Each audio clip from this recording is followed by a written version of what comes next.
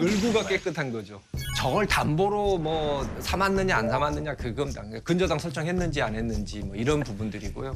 와, 갖고는 이제 소유권이 변동이 될 가능성이 있는지 없는지 부분인데 맞아, 맞아. 예, 전입 신고가 되는지 안 되는지 이런 것도 그렇죠. 중요하잖아요. 예. 표제부도 잘 봐야 돼요. 음. 표제부도 사실은 실물과 표제부가 잘 안 맞아서 구제를 못 받는 경우도 있습니다. 그러면 등기부 등본에서 이 건물의 대략적인 가격을 알 수 있는 게 이제 뭐 채권 설정액 같은 걸 좀 비교를 해보고 알 수 있는 건가요? 개별적으로 또 알아봐야 됩니다. 방금 말씀하신 것처럼 그런 상황이 발생할 수가 있거든요. 사실 등기부 등본도 제일 필요한데 저는 확정일자 받는 것도 되게 중요하다고 맞아요. 생각해 요. 소리, 똑소리 나네요. 확정일자는 뭐? 확정일자를 안 받았어? 그게 뭐야? 안 받았어? 위험, 위험한. 아니 아니 그게 뭐예요? 확정일자는 받아놓지 않으면 그렇죠. 제 못해요. 돈이 위험할 수 있다는 거예요 한마디로. 우선순위가 전세금 같은 게 네. 법에서 제일 중요한 건 뭐냐면요. 시기하고 종기예요.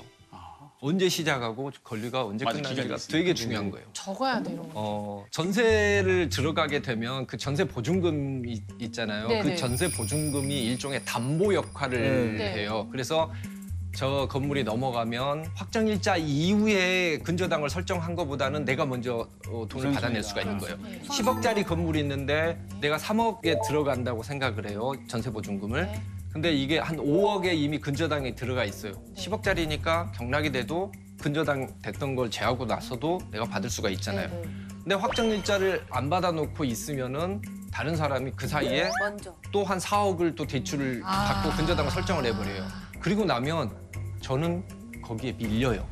확정일자 순서대로 돈을 그렇죠. 지급받을 수 있다는 그렇죠. 거죠. 채권 순위가 달라지니까 저도 사실은 전세 계약을 많이 옮겨 다녔는데 안 받았거든요 귀찮아서. 동사무소 가야 돼요. 네, 그래서 이제 다들 얘기가 동사무소 가서 미리 그거를 왜 안 하느냐. 당장 찍어야지. 근데 이제 제가 얼굴 보고 다 아는 뭐 그런 분이어서 이렇게 안 했었는데. 근데 이런 사람들이 제일 위험한 게 얼굴 보고. 사람. 정말 간이 크신 분이라서 저는 그게 없 었는데 아, 집을 확정일자는 저기에 나오는 게 아니고요. 확정일자는 요즘에는 이 스마트폰으로도 할 수 있어요. 어, 정말요? 네. 어, 반드시- 그 주민센터 같은데 안 가도 돼요? 어, 나 주민센터 그거 안 갔어도 가도 주민센터. 맞아. 일단 가서 확실하게 자기가 확정일자를 받아놓으면 제일 좋긴 하겠지만 네. 여러 가지 지금 사실은 그 보호하기 위해서 나라에서 보험도 정말 많은 있어요. 제도를 만들었어요. 그러니까 그런 거는 반드시 아셔야 되고